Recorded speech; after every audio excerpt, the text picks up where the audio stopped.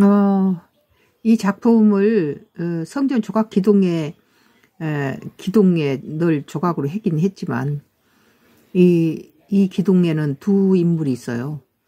하나는 여성적인 샤프한 인물이 있고 둘 다 예수님이라고 표현했지만 솔직히 말하면 내가 추구하는 아름다운 어, 그 인물상에 대해서 표현했다고 볼 수 있어요.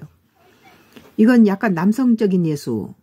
그리고 어, 눈을 감고 세상을 보지 않고 내면으로 내면으로 어, 충실한 어, 그 세상에 희번덕이는 어, 그런 어, 눈이 아니고 내면으로 깊이 어, 사유하는 그런 눈과 꼭 담은 입술과 또 구조물 속에 갇힌 얼굴은 이렇게 굉장히 어, 광골이 서로 좁고 코는 높으면서 입은 다물었죠. 어, 그래서 이 조용성을 더 어, 극대화하기 위해서 어, 그, 이 기둥을 깊숙이 사이에다가 이 어, 얼굴 마스크를 집어넣음으로 해서 어, 펀펀한 얼굴이 아닌 입체적인 그런 어,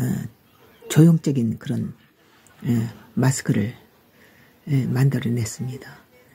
모서리진 속에 또 여, 현대적인 그런 많이 이, 퍼져서 질펀한 대부분 얼굴이 빚어서 이쁜 얼굴이 에, 아름다운 얼굴이에요. 되게 색깔로 그냥 펀펀한 얼굴은 빚어놓으면 아무것도 아니죠. 이렇게 입체적인 얼굴이 네모 상자 안에 들어갔을 때 더욱 어, 조형성을 발휘하게 되고 음각이 더 뚜렷하게 드러나죠.